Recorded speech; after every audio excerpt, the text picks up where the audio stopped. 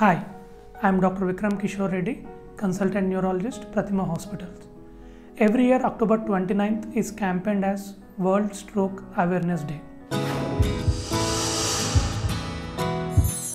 Stroke happens when the blood supply to a part of brain is cut off. Without blood supply, the brain gets damaged. One in four adults will have stroke in their lifetime. Stroke can happen anytime, anywhere. There are two types of stroke which we see commonly. One is ischemic stroke when there is a clot in the blood vessel which causes blockage of the blood vessel leading to the damage to the brain that is called ischemic stroke. Other is an hemorrhagic stroke where the blood vessel ruptures causing leakage of blood into the brain. There are many risk factors for stroke. Advancing age itself is a risk factor. Apart from age, diabetes, hypertension, alcohol, tobacco use, obesity, sedentary lifestyle, psychological issues, genetic factors play an important role in stroke. The symptoms of stroke depend on the part of brain that is damaged. We commonly use a mnemonic called B FAST. B stand for balancing issues, E stand for loss of vision, F stand for facial droop or weakness, A stand for arm weakness or arm droop, S stands for speech impairment or not able to speak, and T stands for the time which we need to rush immediately to the hospital.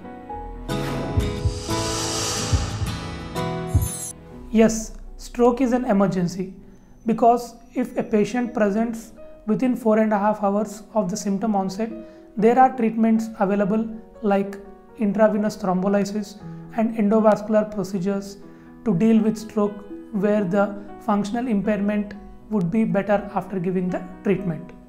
People should be aware about the stroke ready hospital which mean that hospital should have a good emergency department with a, at least CT scan running 24 by 7 and an experienced neurologist who is well versed with the thrombolytic therapy. So locate stroke ready hospitals nearby you.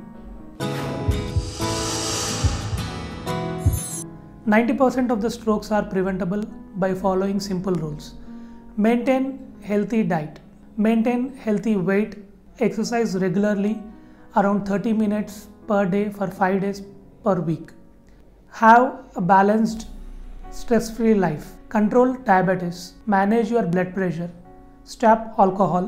Stop smoking and avoid smoking environment. And also control your cholesterol levels.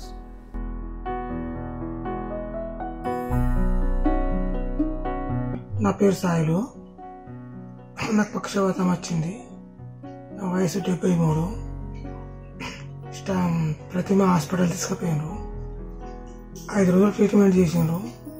అప్పుడు మరి starting నడవనికి సరిగ్గా రాలేదు. తర్వాత పదిహేను రోజుల నుంచి major ఇబ్బంది అయింది. విక్రమ సారు ప్రతిమ హాస్పిటల్. మంచి విషయం నాకు. మంచి మంచిగా నడుస్తుంది. అందరికీ నమస్కారములు. నా పేరు రామకోటేశ్వరరావు. నాకు ఒక సంవత్సరం క్రితం పెరాలసిస్ స్ట్రోక్ వచ్చింది. కుడివైపు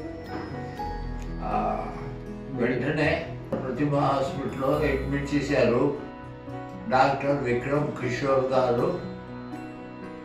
ఆర్టీపీఎస్ అనే ఇంజక్షను వెంటనే చేయించారు చేశారు. డాక్టర్ బిఎస్ రాజు గారు విక్రమ్ కిషోర్ గారు శ్రద్ధగా ట్రీట్ చేశారు. ఇప్పుడు ఎవరు భయపడాల్సిన పని లేదు.